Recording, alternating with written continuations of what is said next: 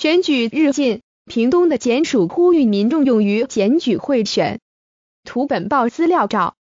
分享：屏东的检署接获情资，指屏东县九如乡民代表杨姓参选人涉嫌以现金买票，经检察官吴玲佳指挥离港分局及屏东调站前往参选人住处搜索，扣的现金三千四百元及名册、记事本等证物，并带回六人侦讯。检察官讯毕认为杨姓参选人涉嫌重大，昨天下午向法院申请羁押获准。这也是平县第一位因贿选遭羁押的参选人。就如乡民代表选举共分四选区，总计要选十一席，第一选区五抢三，第二选区五抢四，其余选区同额选举。有竞争的选区，选情十分紧绷。地检署是于九月初就接获情资，经检警搜证，发现参选人涉嫌以每票五百元向九如乡有选举权的民众买票。